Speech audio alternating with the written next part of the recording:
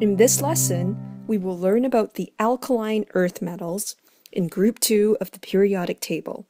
We will focus on magnesium and calcium and learn about how they react with oxygen and water and the products formed from these reactions.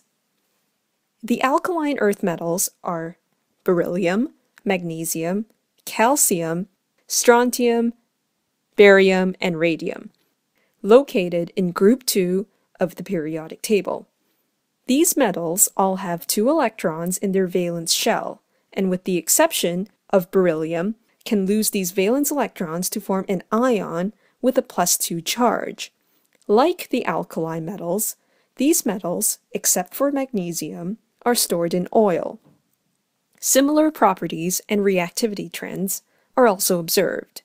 Moving down the group, their density and reactivity increases. Melting points and boiling points decrease, and the metals become softer. We will now learn about the reactions of magnesium and calcium with oxygen and water. Magnesium is shiny and silver, but you will see that your magnesium strip may be dull. This is due to the formation of an oxide layer from exposure to air. Simply clean it with steel wool, so to remove as much of the oxide layer as possible. Using a pair of tongs, take the magnesium strip and hold it to a roaring Bunsen burner flame. The combustion of magnesium proceeds with a bright white flash. Take care not to look at this flash. Magnesium reacts with oxygen to produce magnesium oxide, which is a white solid. Here is a challenge. Do you expect calcium to be softer or harder than magnesium? Please pause the lesson to think about this and resume when you are ready. Calcium is softer than magnesium.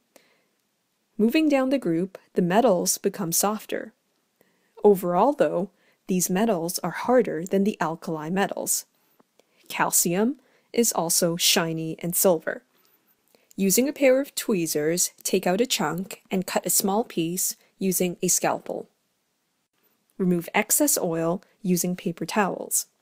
Using tongs, place in a roaring Bunsen burner flame. You will observe that it burns with a red flame.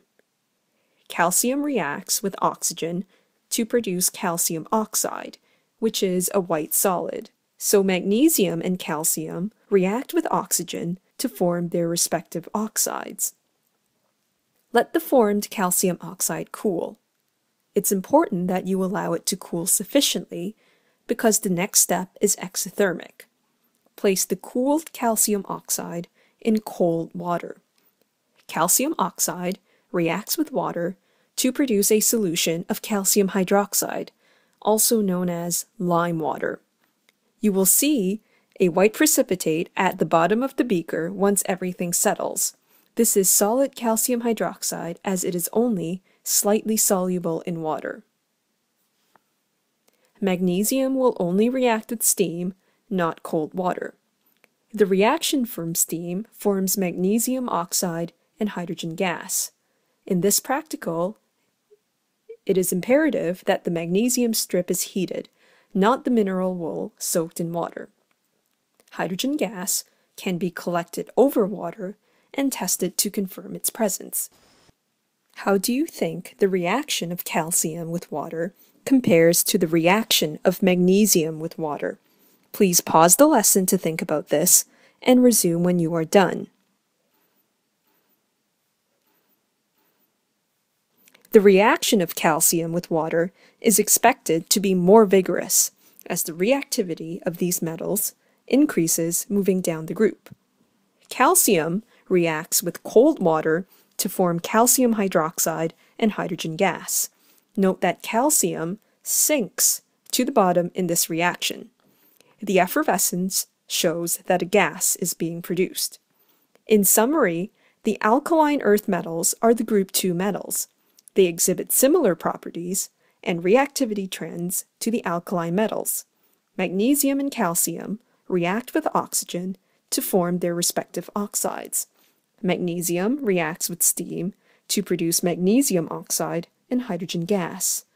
Calcium reacts with cold water to produce calcium hydroxide and hydrogen gas.